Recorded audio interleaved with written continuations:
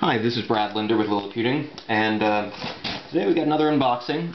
To be honest, I think I know what this is, but I'm not entirely sure. So I'm going to open up the box and see what we got.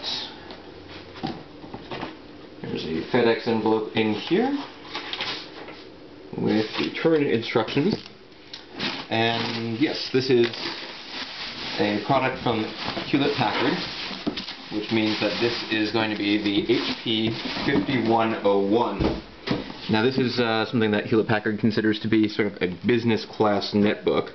Uh, this is a review unit, which means I'm not the first person to have opened this box, and things might not be exactly what you get in a retail unit on the inside, but let's take a look anyway and see what we shall see.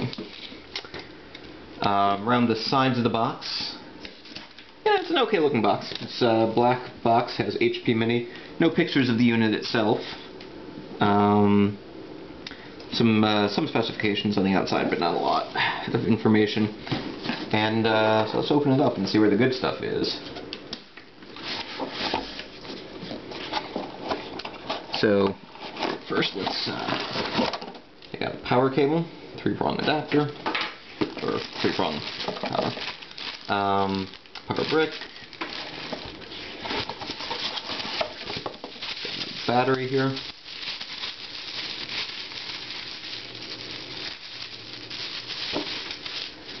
This is a 55 watt hour battery. It's got a sort of rubberized feel on the bottom of it, which is uh, a little different from what you often get. That's it for this compartment, so let's take out the computer itself.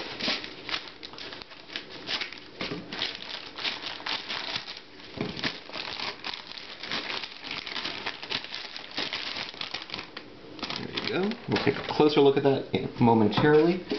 Let's just finish opening up this box see what else is inside. At the bottom there's uh, some choking instructions about the bag, uh, getting started guide, uh, support information, warranty information, and that's about it. So let's go ahead take a closer look at the laptop itself.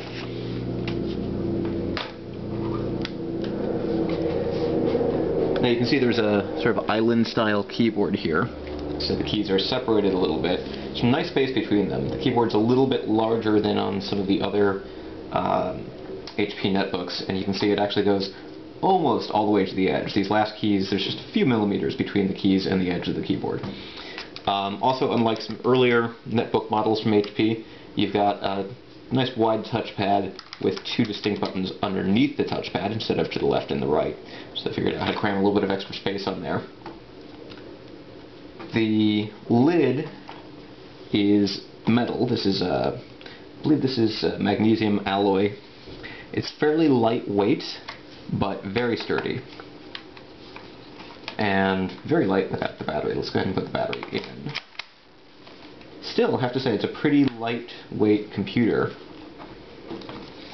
Around the sides, we've got an SD card slot, audio, uh, headphone and microphone, USB, Ethernet, uh, lock port.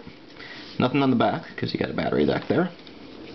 Uh, power, VGA, fan, two USBs. That's about it.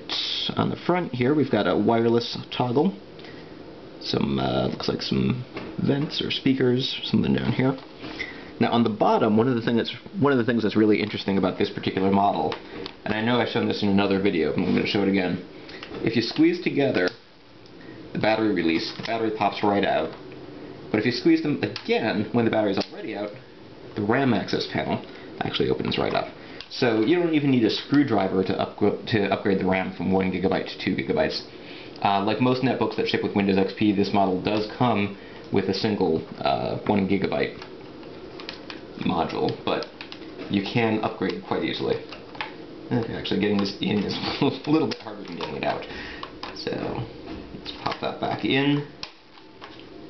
Pop you in. And there we go.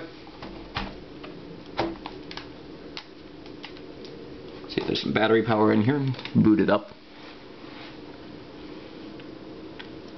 Around the top, we've got uh, microphone and uh, webcam. Uh, nice illuminated um, LED here. Some status LEDs that almost blend right in with the uh, the top here. They're they're not OLED or anything, but they're very smooth. It's a nice large shift key, which I like. We've got two control keys, one function key. Uh, arrow keys over here.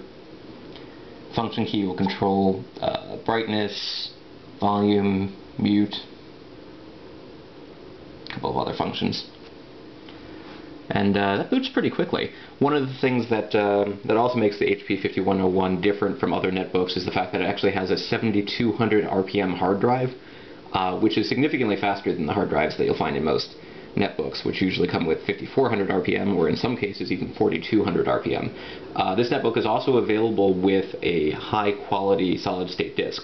Uh, and when I say high quality, what I mean is significantly faster performance than the cheap, you know, 16 gigabyte or 8 gigabyte SSDs that you'll find in earlier uh, low-cost netbooks.